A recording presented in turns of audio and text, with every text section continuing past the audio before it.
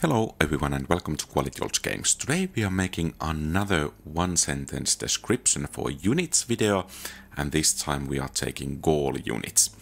And the description or sentence is based on campaign setting, so in addition to fighting capabilities, the also the requirements and unit price are taken into account. And I try to include a bit of humor here as well, so don't take these sentences too seriously. At the same time, I strive to make the sentences so that they uh, include a nice summary of the unit in any case. But without further ado, let's begin. First we have Barbarian Cavalry. Why I get the feeling that especially the Gaul variant is breaking when it is hitting the enemy in the back. Early Bodyguard. I guess the only solid cavalry unit the Gauls have, though the question remains how to train them. Late Bodyguard. They had to give also the Gauls some slight upgrade from Marian reforms, as otherwise Gaul could be trampled by post-Marian Romans. Barbarian Noble Cavalry. It's your choice to leave it or take it, as it is the best cavalry Gaul can train. War Dogs. Speaking of the best cavalry, it seems riders are pretty much only a hindrance, as these good boys show. Cavalry overall.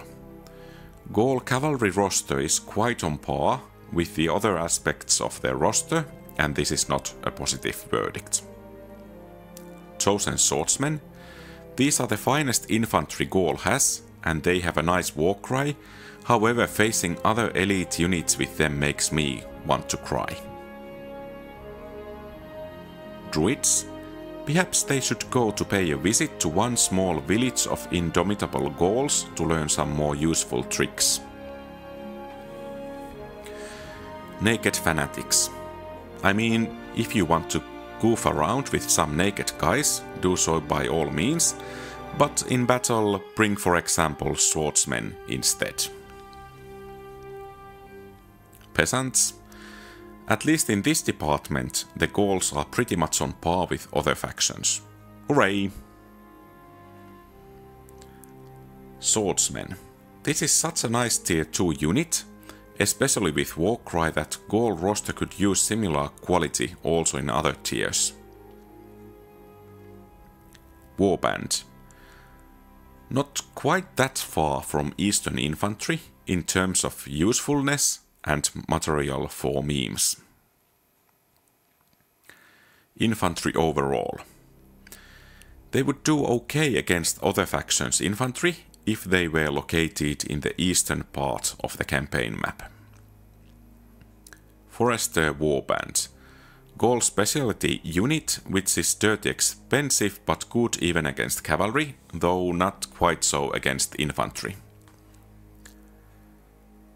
Skirmisher Warband. These guys just got it bad, as they don't even have any longer spears available, so they could join Spear Warband.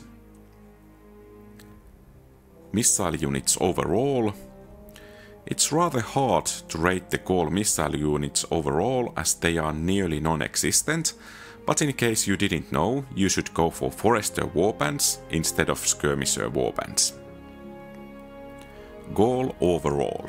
It was really nice of the developers that they made Gaul as the easiest to stomp faction in the game, because now the Julii will salute the devs.